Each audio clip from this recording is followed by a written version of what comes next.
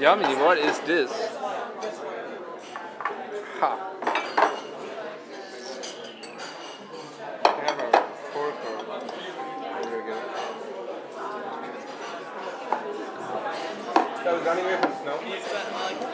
But you know the joke about, uh, used to be, you know, about people in Canada. Yeah, Wisconsin is, Wisconsin is so bad. We are like the northernmost tip. We can't believe that the southernmost tip of Canada is north of where we used to live. Crazy people who ever lived north of this place, all of them. what, what is it thinking of?